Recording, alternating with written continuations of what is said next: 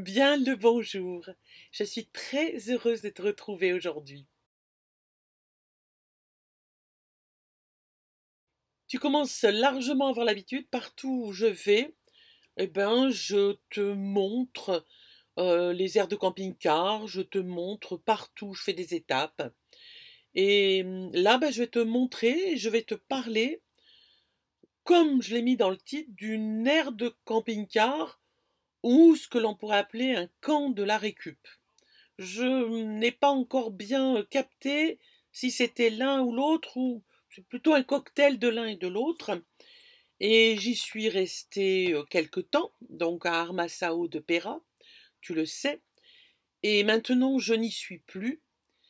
Maintenant que je n'y suis plus, j'ose faire la vidéo car pendant que j'y étais, jamais je n'aurais osé le faire par crainte des, pas des représailles, mais d'une grosse soupe à la grimace.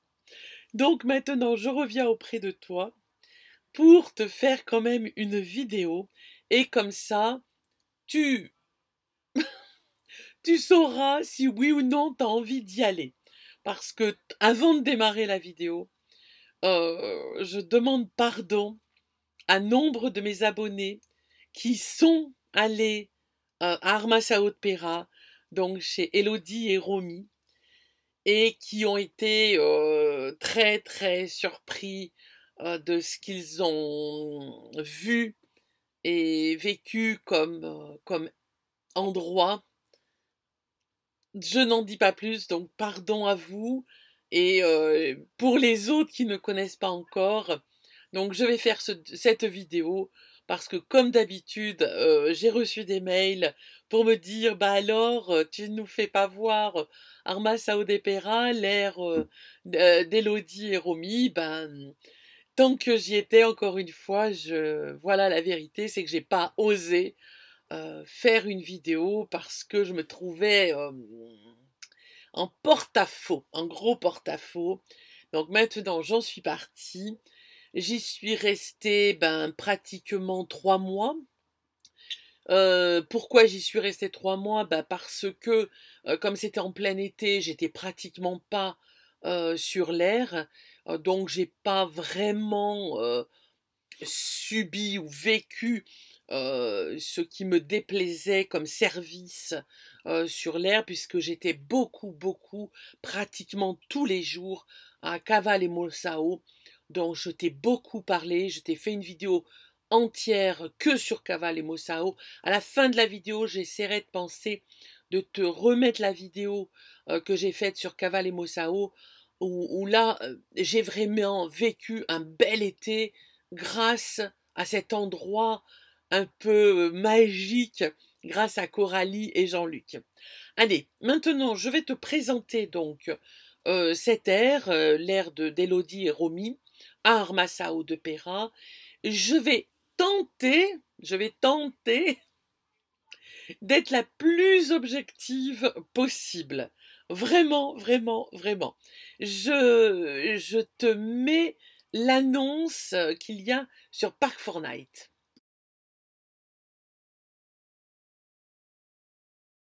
Donc j'ai pris des notes, vraiment, en suivant l'annonce sur Park Fortnite et en te faisant les commentaires le plus objectivement possible pour que tu prennes tes décisions d'y aller ou pas. Donc, tout d'abord, l'arrivée euh, pour l'aire de camping-car est sur un sentier. Il faut vraiment que tu aies confiance, que, que tu roules euh, tranquillou, hein, genre maximum en seconde, mais le sentier arrive effectivement euh, sur l'aire de camping-car d'Elodie et Roby. Donc c'est un sentier étanche. Je regarde, il y avait une voiture. Bon, ça va. Elle va pas faire beaucoup de bruit, c'est bon, ça va pas nous gêner. Donc euh, l'aire de camping-car d'Elodie et Romy est en pleine nature. Euh, donc en été, c'est de la terre poussière avec des, cailloux. Donc tu peux rouler on va dire, sans crainte avec ton camping-car, même si tu as un camping-car très gros. Par contre, là maintenant, cette période, euh, s'il y a vraiment des pluies, par exemple là, quand je suis revenue de mon périple, tu sais, du côté de Tavira, Almancil, etc., euh, quand je suis revenue, il avait plu. Donc euh, moi, sur mon emplacement, c'était la gadoue, c'était vraiment de la boue, de la boue. J'ai même un peu craint avec le camping-car de patiner. Voilà. T'as vu, je suis objective, hein T'as vu ça un peu? Yeah Bon, on continue sur l'annonce de Park Fortnite. Alors ensuite, il parle de quoi? Alors, tout d'abord, les sourires. L'arrivée. Alors oui, effectivement, on a de grands sourires. De l'une ou de l'autre, on a des grands sourires. On paye immédiatement. Euh, alors, tu payes 3 euros pour 6 ampères d'électricité et 3,50 euros pour 10 ampères donc d'électricité. Et le stationnement coûte, alors euh, on voit que le stationnement coûte entre 6, 8 ou 10 euros par 24 heures. Alors au niveau du tarif, euh, là, là c'est flou déjà. On commence dans le flou. Je ne peux pas te donner de réponse cadrée euh, parce que ce n'est pas pour 24 heures. Ça, ce n'est pas vrai, parce que si tu arrives vers 15 heures euh, sur l'air, que tu payes à partir de 15 heures sur l'air, on ne te laisse pas jusqu'à 15 heures le lendemain pour partir. Il faut que tu partes le matin. De plus, sur euh, Park Fortnite, il n'est pas précisé, tu dois payer en plus pour les enfants à partir, je crois, de, de 8 ans. Euh, genre, c'est 2 euros par enfant, par 24 heures, un truc comme ça. Et la nouveauté la nouveauté du jour, ben oui, parce qu'il y a toujours des nouveautés, eh bien c'est que si jamais, par malheur, tu te mets sur un emplacement avec une superbe terrasse faite avec des palettes de récup, des fauteuils qui ont été trouvés dans la poubelle du coin, eh ben tu payes 2 euros en plus par jour. Et il y a plusieurs emplacements qui sont déjà réalisés de ce type et qui sont en cours de réalisation pour que tu payes 2 euros en plus par jour. Fais très attention, sois vigilant avec ton porte-monnaie. Après, est-ce qu'il y a d'autres choses à payer en plus? Je ne sais pas, je ne suis pas rentrée dans le truc. Bon, moi j'ai l'habitude, je paye plein pot, comme si on était deux, comme si on était un couple. C'est marrant, il n'y a jamais de tarif dégressif pour les personnes simples, hein, seules. Hein. Ça, de partout, c'est pareil. Bon, là, au niveau du tarif, donc, suivant la saison, suivant le nombre euh, d'enfants, le nombre de je sais pas quoi, euh, voilà, c'est plus. Il y a des plus, plus, plus. Ensuite, alors sur l'annonce, il y a, tu sais, les petites icônes, il y a de l'eau. Oui, oui, effectivement, il y a de l'eau, de l'eau potable. Ça, c'est la réalité. Ensuite, toilette. Un WC. Donc, effectivement, il y a un WC. Donc, le WC, excuse-moi parce que euh, je veux être le la plus objective possible. Donc le WC a une porte et devant il y a une espèce de petit bidule accroché au bout d'une ficelle, un petit bout de bois, pour te dire si c'est libre ou occupé. Tu rentres, il n'y a pas euh, de fermeture, il n'y a pas de loquet, il n'y a même pas un petit crochet, même moi, je serais capable de mettre un crochet, il n'y a même pas un crochet pour que tu sois tranquille aux toilettes. Non. Il n'y a que cette espèce de bout de bois, bout de carton, je sais pas quoi, peut-être un bout de bois, euh, qui se retourne. Le WC n'a strictement aucune protection, pas de lunettes, rien du tout, tu t'assois directement sur la faïence. Le WC est nettoyé de temps en temps, de temps en temps, voilà, de temps en temps.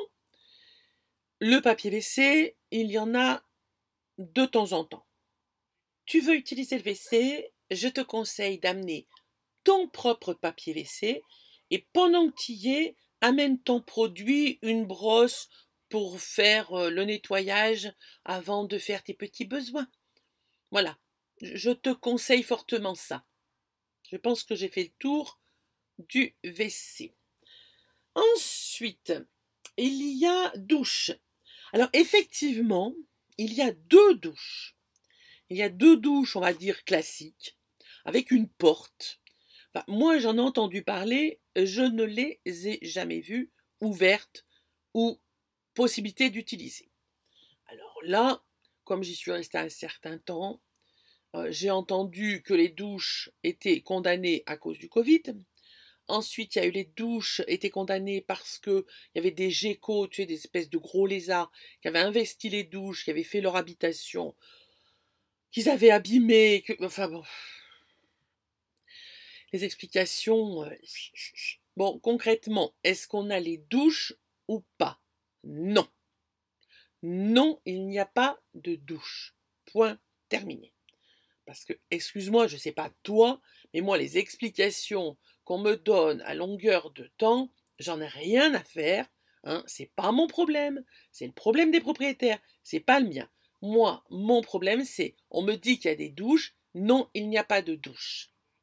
Terminé. Et ça, ça m'a vraiment beaucoup, beaucoup embêté parce que j'ai des abonnés qui sont venus encore pardon pour vous, sont venus en van ou en fourgon, qui n'avaient pas de douche, qui comptaient sur les toilettes, sur les douches, puisque c'est noté dans Park Fortnite, non, il n'y a pas de douche.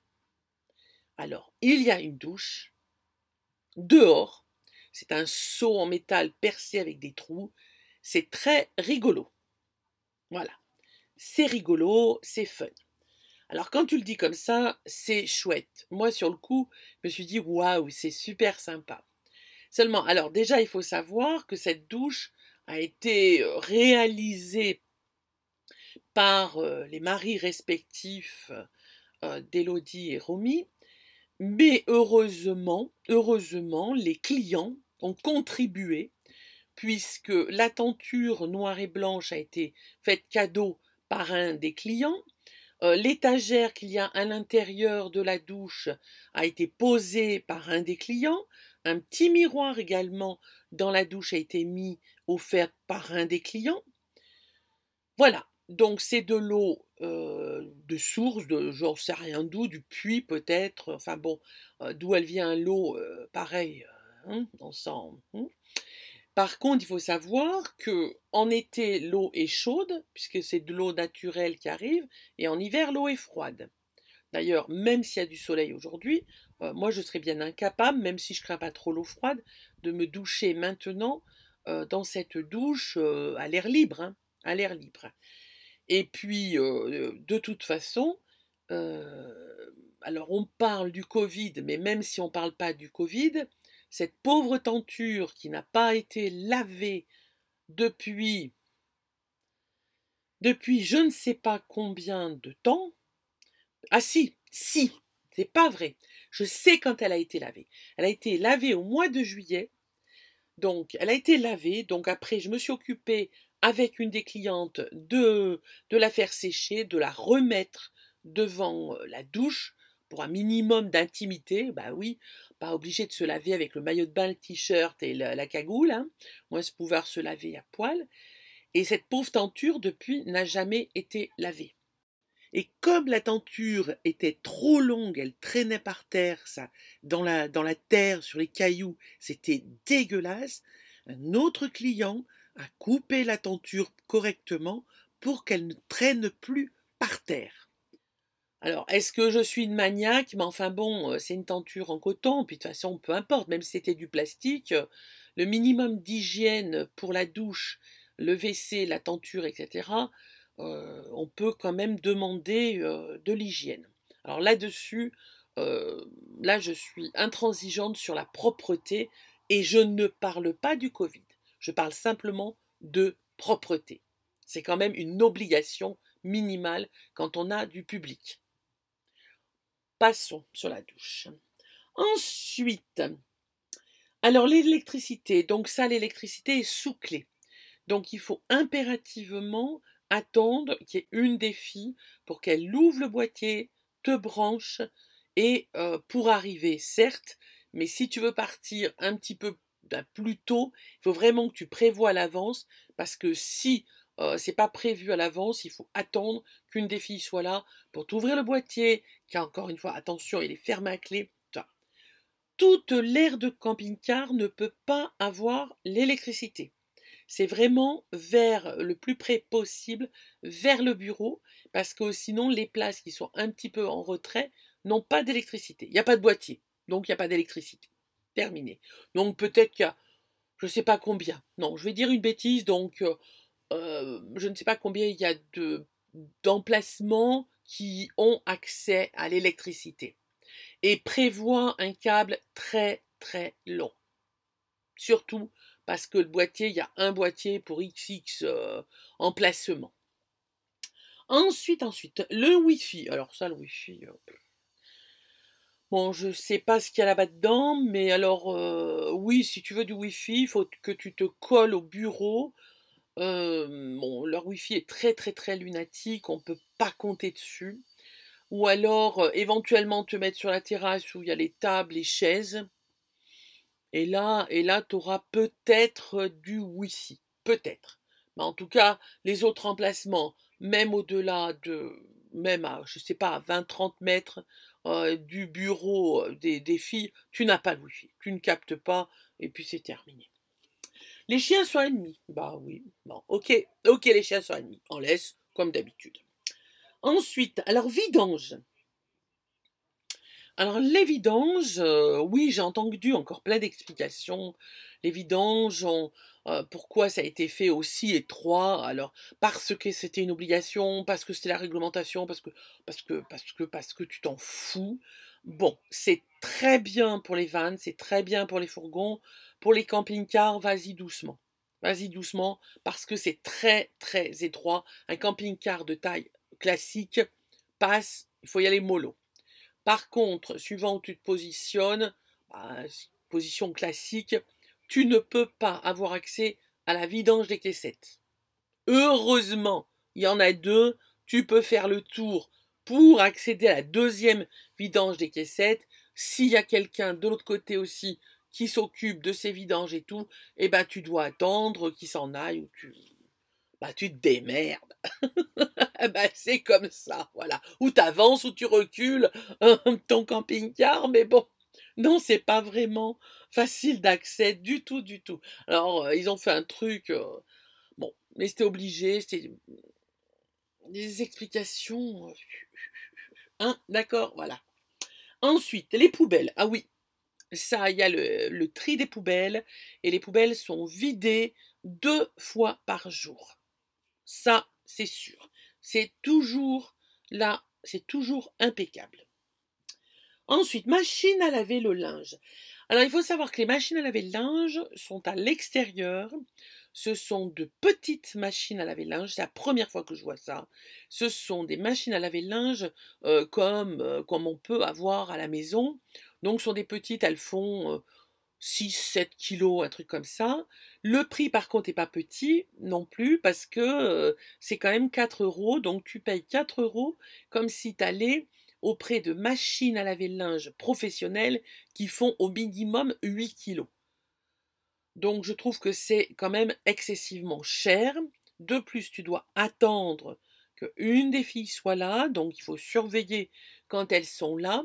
Parce qu'elles ne sont pas toujours, toujours sur l'air, il faut leur demander de parce que tu veux faire une machine, tu payes tes 4 euros et il faut mettre, c'est elles qui te mettent la lessive. Tu n'as pas le choix de la lessive, c'est elles qui te mettent la lessive qu'elles veulent. Si elles ont acheté de l'adoucissant, elles te mettent aussi de l'adoucissant si tu veux. Voilà. Euh, donc c'est un peu compliqué, en plus c'est en extérieur et tu dois faire sécher ton linge à l'extérieur. Là, normalement, elles ont acheté un sèche-linge, alors de taille euh, privée, on va dire encore. Encore une fois, ce hein, ne sont pas des, produits, elles achètent des produits pour des privés et non pas pour des professionnels. Donc le sèche-linge est caché ou mis à l'abri, ou on s'en fout. On s'en fout des explications. Euh, à clé dans un, un comment s'appelle un abri où il y a des outils, tout un tout un bazar, une remise. Alors là, le prix, je ne sais pas.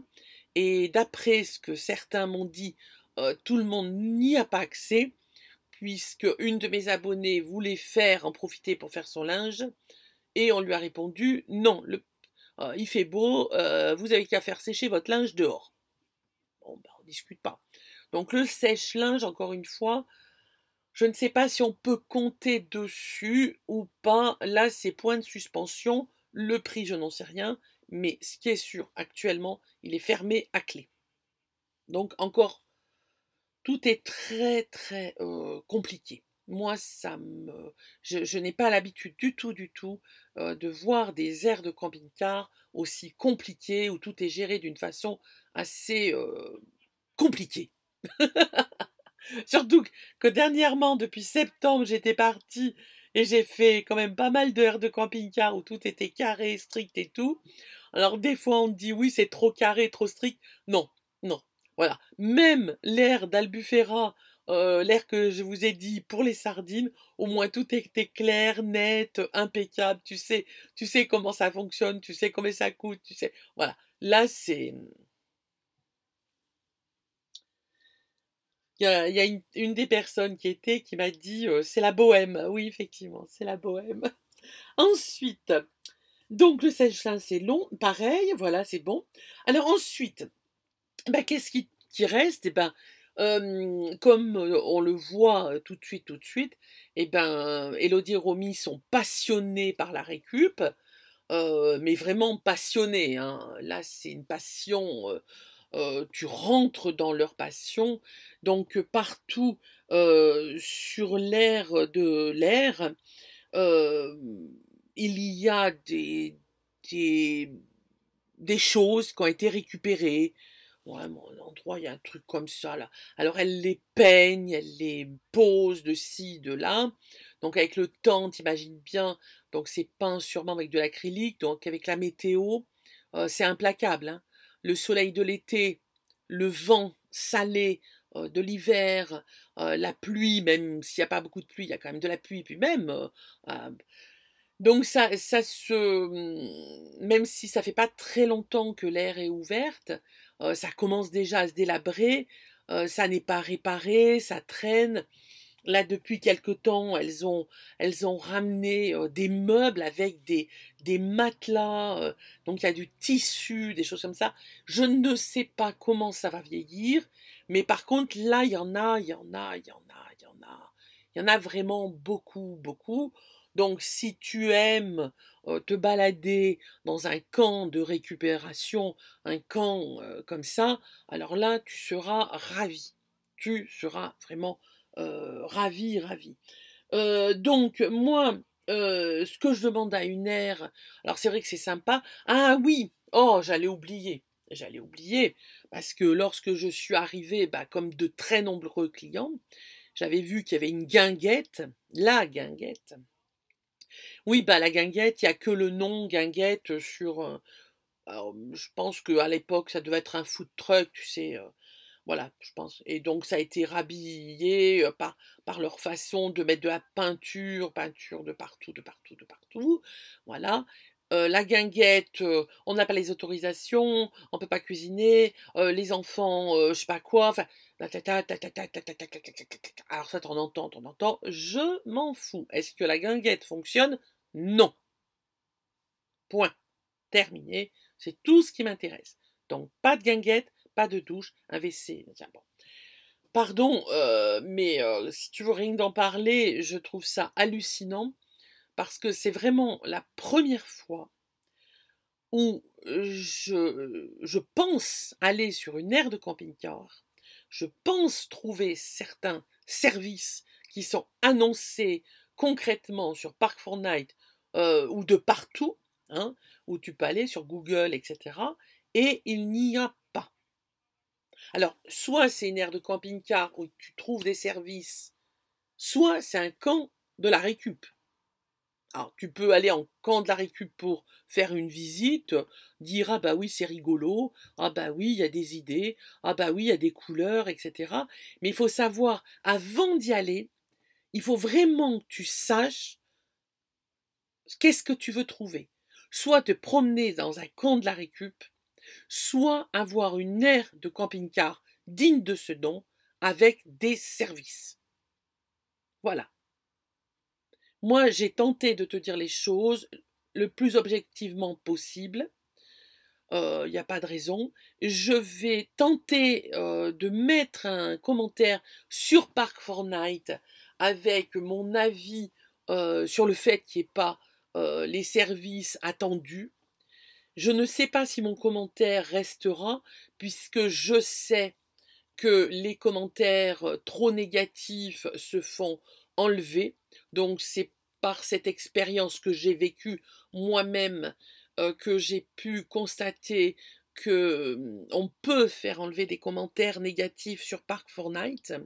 Donc je vais quand même tenter de mettre un commentaire avec mon avis pour prévenir les gens qui viennent en fourgon, en van, qui comptent sur la douche, les toilettes, euh, un minimum de propreté, qu'ils ne trouveront pas ça euh, à cet endroit et je vais également le mettre sur Google. Est-ce que ça se fera enlever sur Google? Là, je pense que ça sera peut-être moins facile d'accès que Park Fortnite. En tout cas, vous, mes abonnés qui êtes venus et qui avez été très déçus de constater qu'il n'y avait pas les services attendus, je suis profondément désolée de ne pas avoir eu le courage euh, de faire cette vidéo avant que vous y alliez. Donc je vous demande vraiment de me pardonner. Si vous avez envie de faire un commentaire sur Park Fortnite, je vous invite à le faire pour témoigner pour les autres, pour les autres personnes qui auraient envie de venir sur une aire de camping-car digne de ce nom. Pour ceux qui veulent visiter un camp de récup, pas de souci, foncez et amusez-vous bien. Voilà mon avis sur cet endroit. J'espère que ça t'a plu puisque j'avais la demande euh, de plusieurs personnes qui m'ont demandé alors, mais pourquoi tu nous fais pas un commentaire sur cette ère euh, d'Elodie et Romy? Eh ben voilà le pourquoi. Et pour mes abonnés que j'ai croisés à plusieurs reprises pendant mon périple de, septembre à novembre, eh ben je vous motive vraiment, faites un commentaire et encore pardon d'avoir tardé à faire euh, cette vidéo. Je vous adore, je vous embrasse à tout bientôt. Ciao, ciao